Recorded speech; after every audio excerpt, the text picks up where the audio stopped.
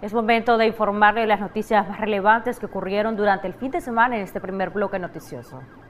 El cardenal Leopoldo Brenes, luego de oficiar la misa de este domingo en Catedral de Managua en honor a los 381 años de la celebración de la sangre de Cristo, instó a pedir por la paz y para que sanen los corazones resentidos, para que no alberguen venganza y odio. Es que yo pienso que un corazón, del corazón salen todos los sentimientos, buenos y negativos.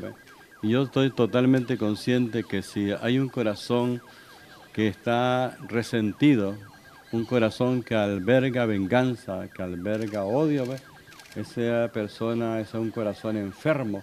Tenemos que pedirle al Señor que sane nuestros corazones porque eh, siempre del corazón y el Santo Padre ha insistido, escuchemos la voz del corazón, porque el corazón tiene unos mensajes de paz, mensajes de justicia, mensajes de amor, mensajes de verdad, mensajes de libertad. Así que yo soy un fiel eh, creyente de que tenemos que sanar nuestros corazones.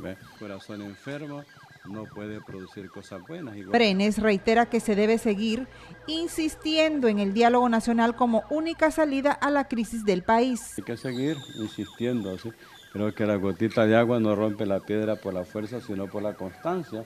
Así que todos, ustedes, los sacerdotes, los religiosos y todos, tenemos que seguir diciendo que es necesario el diálogo porque, sinceramente, solamente con el diálogo podemos lograr la armonía, podemos lograr el consenso, podemos lograr esa paz que tanto añoramos. Respecto al ingreso de la Comisión de la OEA al país y los 75 días de plazo que tiene el gobierno, el cardenal espera que el equipo de trabajo diplomático no solamente escuchen a los líderes, sino que también atiendan las inquietudes del resto de la población. Se ha dicho que la OEA tiene un papel importante, ojalá que en este llamado de estos 75 días se tome ese tema y yo he dicho que ojalá que las personas que van a ser enviadas por la OEA eh, no solamente puedan dialogar con los grandes líderes, sino que bajen a la base,